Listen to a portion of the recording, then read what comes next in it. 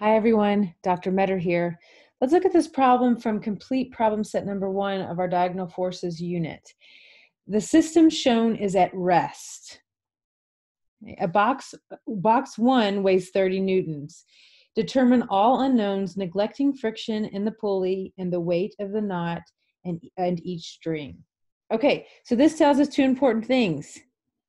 Our system is at rest and our box one weighs 30 newtons. So we can say box one, um, the FMG is equal to 30 newtons, and our system is at rest. Let's go over that again. We went over, we went over it in a previous problem, but when we say our system is at rest, that means the acceleration. Oh, can't see that. That means I'm going to erase it. That means our acceleration is equal to zero. That means our force net which is equal to uh, mass times acceleration is equal to zero. That means that if we look at the force net in the vertical, it is equal to zero, which means all of the forces pulling up or pulling up minus all of the forces pulling down are equal to zero. And this tells us that all of the forces up are equal to all of the forces added together down. Okay, same thing for horizontal. Force net in the horizontal is equal to zero. That means all of the forces pulling the system toward the right are equal or minus all of the forces uh, pulling it toward the left is equal to zero. So that means our F, all the forces to the right must be equal to and completely oppose all of the forces to the left. Okay, now that we have that out of the way, let's think about what's going on here. This is an Atwood machine where you have a line over a pulley. Okay, we have two, basically two Atwood machines and a line over a pulley. We know that the tension, this is the same line moving from here to here. So it is experiencing the same tension throughout. So if we can determine, the same thing goes for here, same tension throughout. So if we can determine what this F of tension is here, right, relative to this box, then that F of tension, say we'll call it F of tension one for box one, is going to be equal to the tension experienced by this knot right here this is also F of tension one.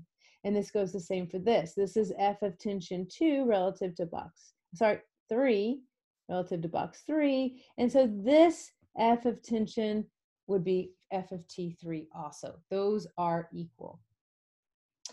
So how much does box two weigh? Well, so we're trying to get at what our FMG is equal to for box two. Okay, so we're gonna get what that is. Well, how do we get at that? Well, we we have we know it's pulling down. So if we can find what is opposing it or pulling it up, then we can start to get at what this is. So what's opposing it are the vertical components of FT1. So that would be FT1 vertical and the vertical component of FT 3, which would be FT3 vertical. All right.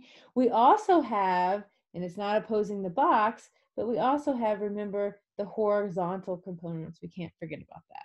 So the horizontal one and the horizontal component, G horizontal uh, for three, for line three. Okay, so we know that what's pulling up is equal to what's pulling down. So we can say that our FMG for box two is equal to our FT vertical for one plus our FT vertical for three, right? But how do we get at what FT1 and FTV3 are? Well, we're given one bit of information okay? And that tells us that the FMG for box one is 30 newtons. Well, the system is at rest. So we know that this must mean that it's balanced in the upward direction. So our FT1 must equal 30 newtons also. Well, because this is an Atwood machine and this is the same line, that means that the FT here is also equal to 30 newtons. So now we've gotten, we know the overall magnitude of this force, and we can get at what this FT1 in the vertical is, because we can say that our force of tension in the vertical is equal to the force of tension overall times the sine of theta. And our theta here is 51 degrees. Okay, so our F our FT F in the vertical is equal to FT1, which is 30 newtons, times the sine of oops of 51. Okay. What's that? So that gives us, let me see where my problem is. Okay, 23.3. Mm-hmm. So this gives us 23.3 newtons. And so this right here is equal to 23.3 newtons. Okay, so that's one component. All right, so we've got this. We're looking for this. We've got this. Okay, so now we have to try to get an FTV3 or FT, uh, the, the force of tension for line three in the vertical.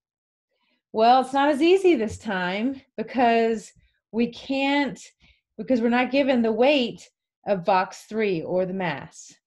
But if we can calculate, remember this relationship that everything to the right must equal everything to the left so that this, the system can be balanced and at rest. So therefore, if we can get it at what FT1 in the horizontal is, then we can say, okay, well, we know that's equal to FT3 in the horizontal. So the force of tension in the horizontal for line three. So if we say, let's see, how could we get at this? We know that our FT in the horizontal is equal to the overall magnitude of the force, right? So F of T1, which we have, we found. Oh, sorry, wrong one, which we have given, um, times the cosine of theta. And we have theta to be 51. So we can say the force of tension 1 in the horizontal is equal to the force of tension 1, which is 30 newtons, times the cosine of 51. And that gives us a, let's see, that gives us 18.9. Mm-hmm. Okay, so now we're chipping away at the information. Now we know that this horizontal force is also equal to this horizontal force right here. So we know this is equal to 18.9 newtons, 0.9 newtons, and this is equal to 18.9 newtons. Well, now we know what the horizontal force magnitude is, and we know the angle for this line, our theta. So we can say, okay, well, we know that our our force of tension in the horizontal is equal to the overall tension of the force times the cosine of theta. So we can say 18.9 newtons is equal to FT3 times the cosine of 21. And that gives us an overall, remember finding this right here, FT3 is equal to, let's see, F T3 is equal to, let me find it, 20.2 newtons. All right, so this is equal to 20.2 newtons. Now, that's great, but it's not getting us what we need yet, right? We need the force of tension in the vertical.